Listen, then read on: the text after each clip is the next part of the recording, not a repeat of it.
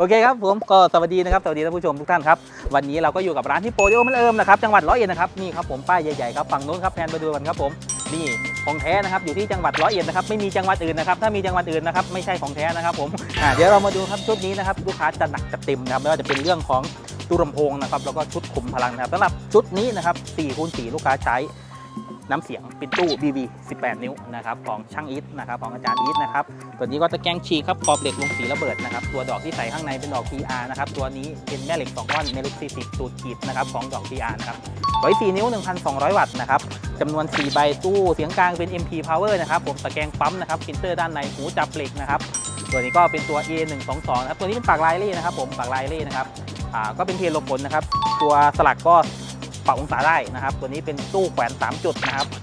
อ่าสวยๆอย่างนี้เลยใครสนใจเฉพาะตู้ก็มีราคาแยกต่างหากนะครับใครสนใจตัวไหนก็สั่งได้เลยครับอ่าเดี๋ยวเราไปดูชุดขุมพลังครับฝั่งโน้นครับขุมพลังที่ใช้นะครับเป็นทาร์ปเมก้า912 Pro นะครับ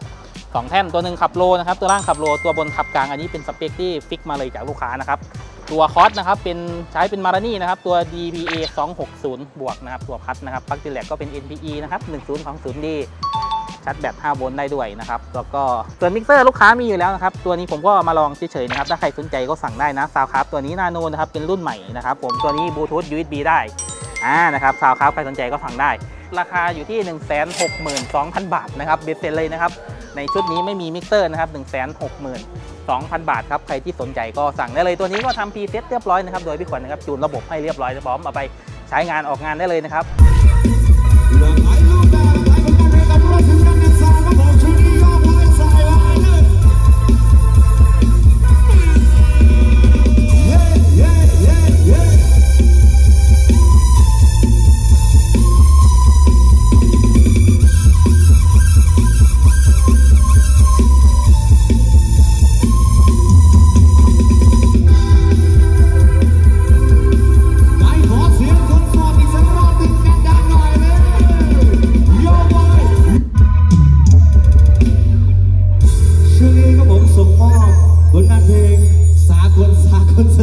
อะไรกัดอะไรก็ผมไม่ต้องสนใจเนื้อร้องนะฮะ